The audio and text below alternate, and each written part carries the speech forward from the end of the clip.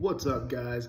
I just wanted to hop on here and let y'all know that I just heard back from my doctor and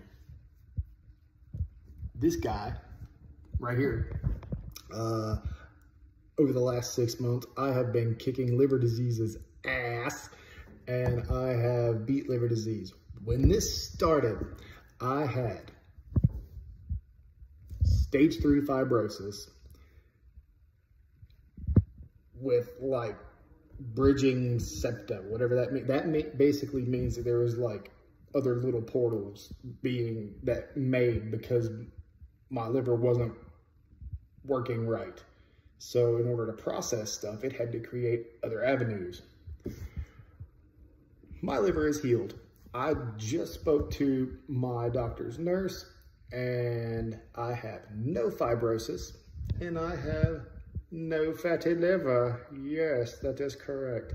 I'm stoked, guys.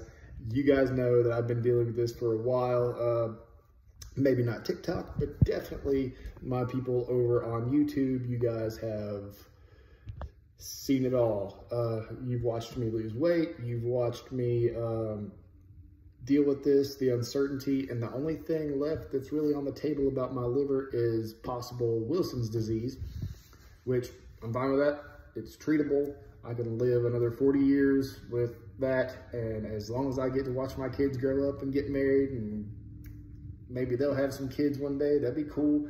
That's all I want in this life. So yeah, the next chapter of my medical journey will be covering my spinal issues because I just got the uh, appointment at UVA uh, Spine Health Center, wherever, and UVA, at UVA.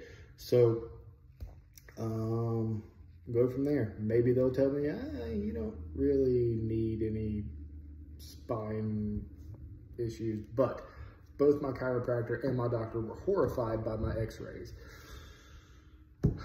which is why I got to go up there to UVA again. So that'll be the next installment of my medical journey. And then uh, past that, I'll be uh, healthy as an old horse. So yeah, you guys have a great week. Later.